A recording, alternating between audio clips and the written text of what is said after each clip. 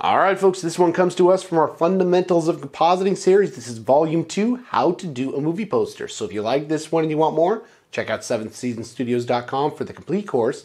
And if you're interested in getting all of our content at one low monthly price, check out the link below for our YouTube family. All right, let's go ahead and get started.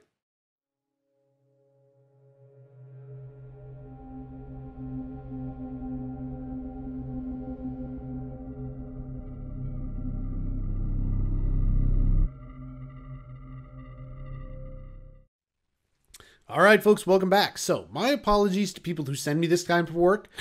I don't have all of the fonts you do. So, my comments on fonts is going to be probably because I don't have the same font you do. As an example, if I go ahead and click here, all right, and I go over to the font tab, let's say, it's going to say Urban Jungle, right? So, I don't have Urban Jungle. So, my comments on fonts is just going to be because my system defaults to a similar font that they think is right.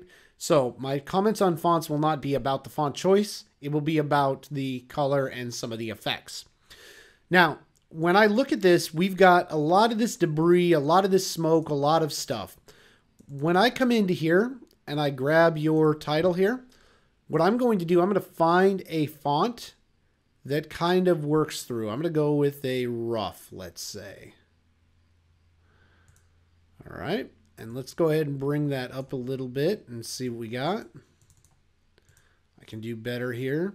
Maybe I like that. Maybe I don't. Let's try something a little rougher. There we go. All right. That's a good one. And I know you guys at home, you won't have this font. My point here when it comes to composites, find the font that changes how you feel about the piece, right? Okay. So I really wanted to do this down here because up here we've got some darks from the vignette and such. So I really think that this is probably the right place for it. And I don't want to obscure the face. All right. Now, on the fallout, let's go ahead and come over here. I'm going to go ahead and I'm going to pick just any old font. I get a lot of fonts from 1001freefonts.com, from Font Squirrel, from Dafont. Right? There's a lot of different font sites. I like this one, but I don't like it in the white. So what I'm going to do, I'm going to go ahead and make it black. Just because you see how much it pops. Now, I know that the red is not quite going to work, but the red, when combined with what's reflecting on her shirt, actually makes sense. So, with respect to the artist, I'm going to go ahead and I'm going to keep that. I'm going to change the style of this pandemic, though. So, this is not Gloss and Bloom. I don't have that font, so we're going to pick another one. All right, let's find one that's post apocalyptic crazy here. There's a lot of them.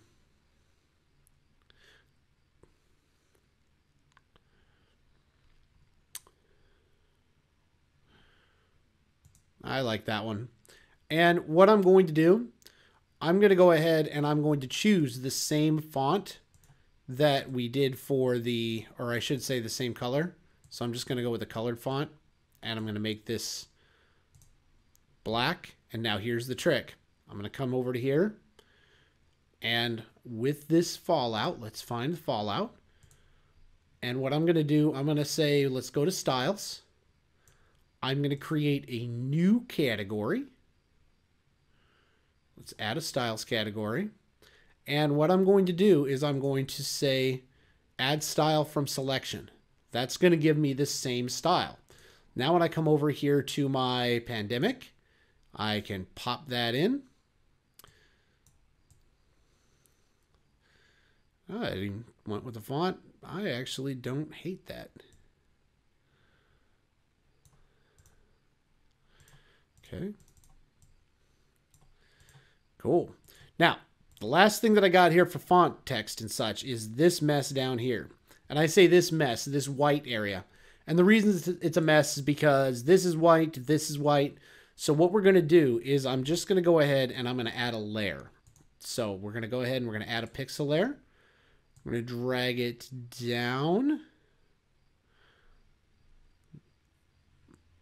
I'm going to say even inside the vignette. And I'm going to just pop this thing in just like that. Okay. Now on the base, going to be black. Just like that. On the top can be white. That's fine. And what I'm going to do with the white, I'm going to drop it down to zero opacity. There we go. And then I'm going to adjust it until I get what I want from it.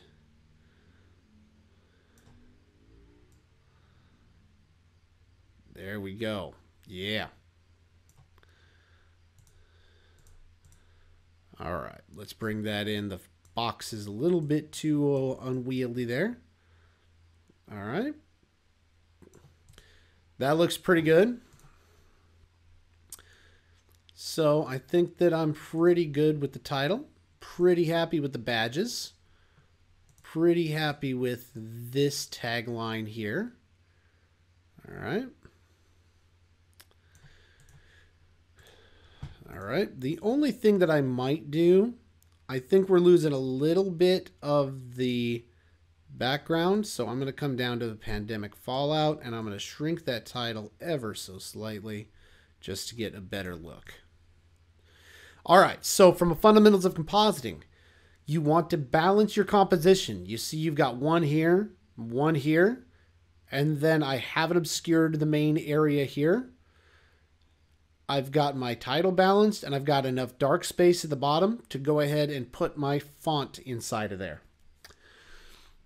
All right, folks. So I think that I'm overall pretty happy with this. The last thing that I might try, let's go ahead and add a layer. Let's go ahead and bring in a lighting layer.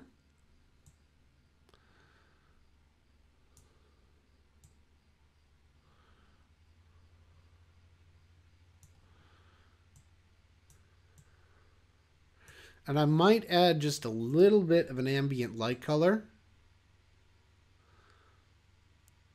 to that. Just a little. All right, let's push a little here.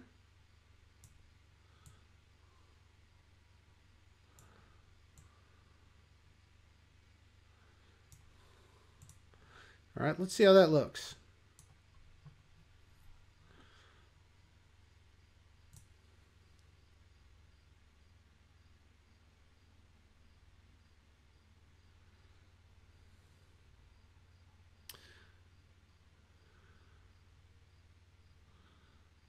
I don't know that I like the light at all. Off entirely. Mm, let's do one more thing here. Let's try it as a point light.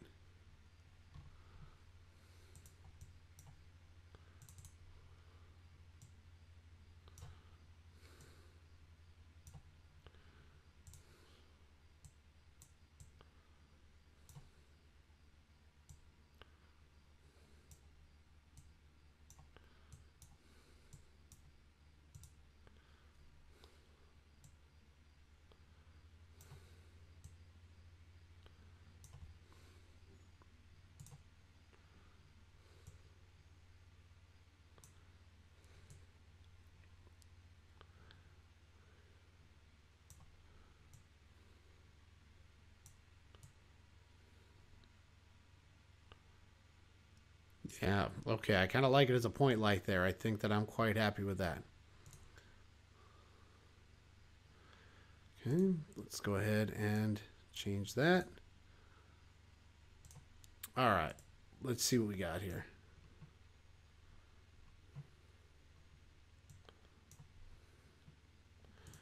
All right, subtle shift. Let's go ahead and bring this in. I want to add in a effect. Let's go ahead and add in an outer shadow. Offset it.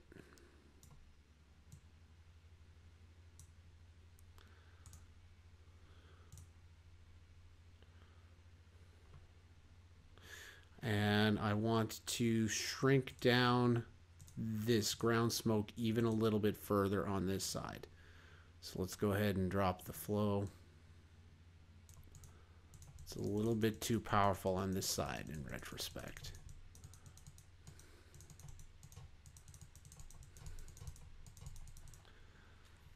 All right. Little things I could keep going, but I think that we're pretty well set. Overall, I'm very happy with this. So what we did is, let me go ahead and open up the original.